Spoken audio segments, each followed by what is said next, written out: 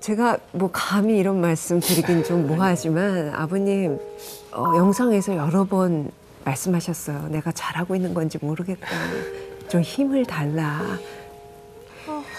그런 말씀을 하셨는데 글쎄요. 제가 만약에 우리 금쪽이 엄마라면 어,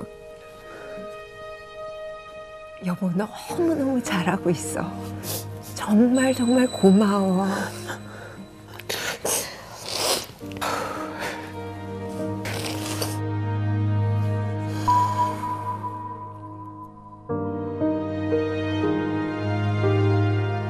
정말 당신밖에 없어.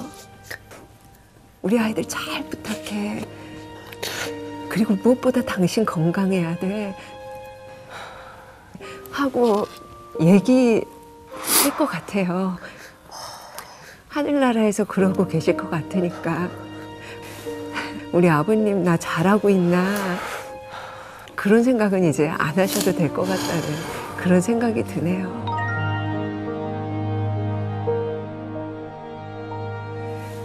아버님 힘내세요. 왜냐면 우리가 있고 그리고 든든한 오 박사님이 계십니다. 이제 오 박사님 우리 금쪽 처방 주셔야죠. 네.